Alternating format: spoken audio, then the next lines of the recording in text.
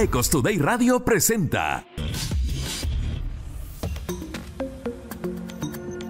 Francisco Guzmán, Country Manager and Sales Director de Sirion Technologies en Ecuador, en Ecos Today Radio, se refirió a las empresas financieras de Ecuador que transforman su tecnología para liderar el futuro. El, el banco, como todas las instituciones hoy en día o las empresas en general, tienen que especializarse en lo suyo, ¿no? Y, y empresas tecnológicas como nosotros somos los, las que podemos colaborar y llevarlos de la mano para que nosotros proveamos toda esa infraestructura tecnológica y ellos se dediquen más bien a ver cómo pueden desarrollar aplicaciones seguras que cada vez lleguen más a resolver las problemáticas y los requerimientos que tiene el, el, ciudadano a pie. Rodrigo Gómez de la Torre, consultor agrícola y ganadero, habló sobre el proyecto de ley de protección y defensa de animales. Creo que es importante tomar una decisión multigremial, multisectorial.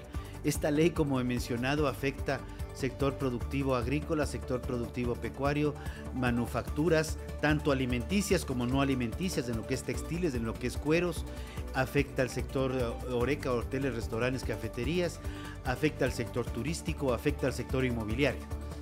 Sí creo que los gremios deberían tener un proceso articulado, sostenido de manera permanente a nivel de, a nivel de seguimiento legislativo para que las alertas de lo que se está tratando estén permanentemente activas y tener algo claro también.